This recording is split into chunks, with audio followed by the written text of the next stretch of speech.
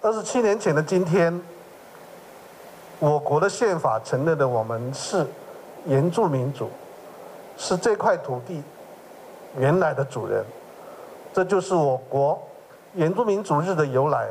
八月一号，原住民族日，原民会在圆山饭店举行证明二十七周年活动，并由前国大代表江吉明再次带国人回顾原住民族证明的波折历程。在表决的时候，第一次差一票，哦，这个真的，我们我们几个原住民，包括马上上台，重新再再表决一次。你对对对那个表决案子有问题，只能举手一次，再重新表决。不过了就不过了。从原住民族证明诉求开始到今天，我们原住民族全力发展已经推动了四十年啊。我们来回顾这段历史，三包证明为原住民族，就是一个开启后续一系列进步政策的一个非常啊关键的一个历史。当然，我们还是期望我的族人朋友们。我们除了一同回顾这段重要的历史之外呢，我们也期盼社会大众理解原住民族的处境，希望我们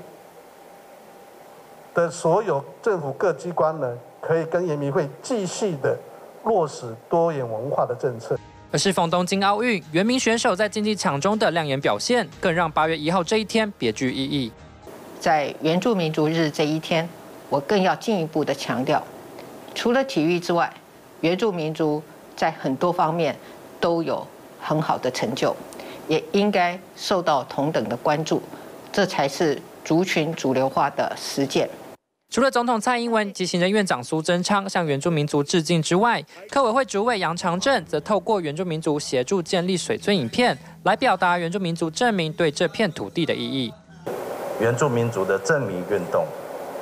给了汉人一个解放的机会，我们的思维不再会陷入一种歧视的啊那个不对等的架构里面。那所以我就认为说，原住民族日是应该是全国国民的原住民族日。回顾证明后的这二十七年，伊将巴路尔表示，自从二零一六年政府向原住民族道歉后，国家与原住民族的关系迈向新的阶段。而在证明之后，未来原住民族各项权利议题仍需社会大众一同关注并落实。原视新闻阿拉斯布利亚台北市采访报道。而在